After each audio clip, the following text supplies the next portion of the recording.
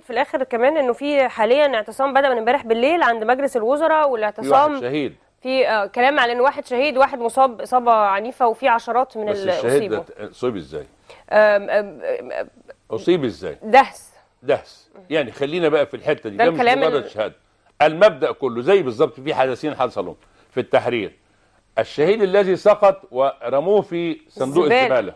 الإسرائيليين أعدائنا بيستبدلوا رفات الجندي بتاعهم أو الضابط اللي وقع في حتة واتأسر ومات بعشرات ال ال ال ال المعتقلين أو ال- المحبوسين يعني صحيح. عندها بساتك وفي نفس الوقت إحنا هنا الشهيد بنرميه في صندوق الزبالة ونضربه وهو في صندوق الزبالة ميت هذا الحدث كان يقتضي إنه رئيس رئيس المجلس العسكري يخرج فورا يقول أنا بعتذر واللي عمل كده أنا هحاكمه لابد محاك- من معقبه ها؟ يعني معقبه بقول وعنيفة وسريعة واللي بقى عمل كده هحاكمه محاكمة سريعة بس أنا عايز عند صحيح. الحتة دي بثانيه واحدة. معلش.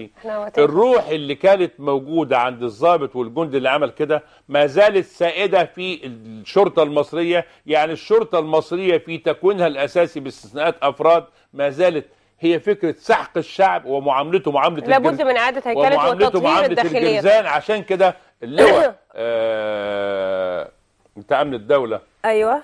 مين فيهم؟ الأخير مساعد آه، طيب المعلومة. آه واخد بالك. يعني هو قال كلام آه بض... اسمه إيه ده؟ إحنا وقتنا بيخلص يعني قال كم... كلام. ما معناه إنه الشرطة إذا تواجدت عند صناديق الانتخاب مش هتقدر تقف من رفض الناس ليها. آه، فؤاد. علام اللي هو فؤاد علام؟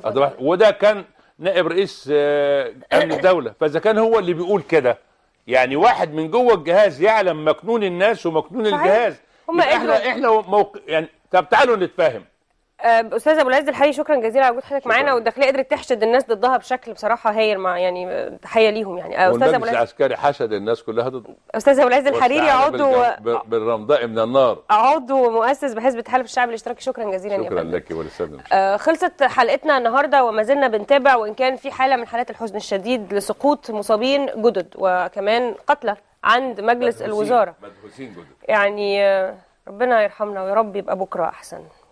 السلام عليكم.